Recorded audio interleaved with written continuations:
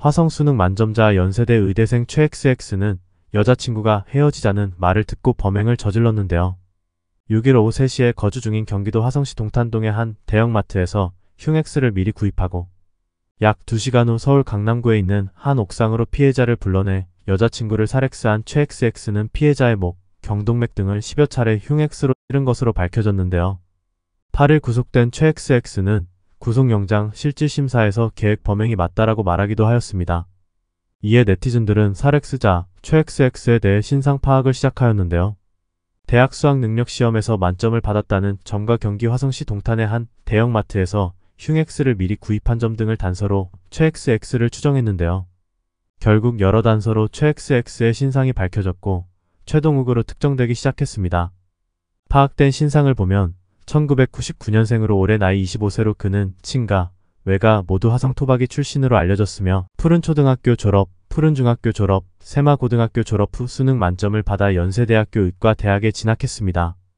2018학년도 수능 만점자 중 한 명인 최동욱은 연세대학교 의대생이 되며 화성의 자랑이 되었는데요. 당시 화성시와 여러 매체를 통해 인터뷰의 내용들 또한 알려졌습니다. 그러나 5월 7일 최동욱에 대한 구속영장을 신청한 사실이 알려지며 화성시에 올라왔던 최동욱 관련 글과 영상 등은 모두 내려간 상태입니다. 또한 최동욱의 인스타그램도 알려지며 여자친구와 찍은 대표 사진을 제외한 모든 게시물은 현재 비공개 상태로 바뀌었습니다. 2018년도 최동욱 연대예과 인터뷰 영상 잠시 들어보시죠. 네, 안녕하세요. 저는 2018년도 수능 만점자 연세대 의과 최동욱입니다. 제가 처음으로 목표로 하게 된 것은 서울대 아무학과나 진학하는 거가 됐어요. 다음 진로는 별로 생각하고 싶지도 않으니까 그냥 그렇게만 되고 싶다. 인생 끝내고 싶다. 이런 생각으로 무턱대고 전진을 했어요. 내가 끊임없이 공부를 하고 연구를 하고 개발을 해서 탁월함을 이뤄낼 수 있는 그런 분야에 그런 분야에서 일을 하고 싶었어요. 지금 생각해봐도 저한테 고3 공부가 제 학창 시절 중에 제일 재밌었던 것 같아요. 관성에 의한 공부는 한계점에 봉착할 수밖에 없어요. 내가 왜 해야 되는지를 알아야 진정한 공부를 할 수 있게 되는 것 같아요. 이어 최동욱 부모님은 아들이 수능 만점을 받은 후 한 언론사와 인터뷰를 진행하며 이름과 얼굴 등 신상을 공개한 적이 있는데요. 최근 사건이 터진 후 해당 발언과 인터뷰 장면이 다시 확산하며 재조명되고 있습니다. 또한 최동욱은 수능 만점 성적을 받은 이후 메가스터디 학원 수강생으로서 팀플 장학, 목표 달성 장학 등 메가스터디로부터 장학생으로 선정되어 학습 방법이나 학원 장점 등을 소개하는 메가스터디 멘토 활동을 일정 기간 수행한 바도 있습니다. 한편 최동욱이 재학 중인 연세대학교 에브리타임에 평소 그에 대한 평판이 게재되어 화제가 되기도 했습니다.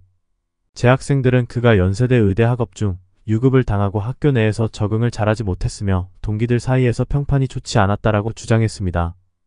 또한 기수 연례된 장애 습계 하나 때문에 이게 무슨 일이냐며 병엑스의 병엑스했네라며 삼가 고인의 명복을 빕니다. 라는 글이 올라왔고 여기에 댓글이 이어졌습니다. 또 다른 재학생은 의대에서 기수열외만 안 시켰어도 이렇게 흑화하진 않았을지도 애초에 평판이 X돼 있었다. 난 현재 본과 4학년인데 작년 실습 때 다른 사람들한테 있는 대로 피해 끼치고 다녀서 사람 취급 못 받았다 등 부정적인 반응을 보였습니다. 이런 와중에 피해 여성의 유족으로 추정되는 글이 올라왔는데요. 피해자의 친언니라고 밝히며 제 동생이 억울하게 최동욱에게 살액스 당했다. 어느 날 동생이 최동욱에게 헤어지자고 말했는데 갑자기 죽다고 하면서 옥상에서 여러 차례 뛰어내리려 했다. 동생은 착한 마음에 죽은 거 막다가 이미 예정돼 있던 최동욱의 계획범죄에 휘말려주기만 당했다라고 말하였습니다. 이어 가족은 고통 속에 살고 있다라며 동생이 조금이라도 편히 잠들 수 있게 동생 신상이 퍼지는 것을 막고자 동생 SNS 계정을 비공개 또는 삭제하려고 했으나 계속 오류가 걸려 진행하지 못하고 있다. 부디 동생에 관한 억측은 자제해달라고 말하였습니다. 한편 그녀의 마지막 인스타그램 게시글과 사진 한 장이 가슴을 먹먹하게 하고 있네요. 사람을 죽인 살액스자에게 인권이 필요한지 모르겠습니다. 피해자는 공개하고 가해자의 얼굴은 보호해주는 우리나라의 법은 언제쯤 바뀔까요?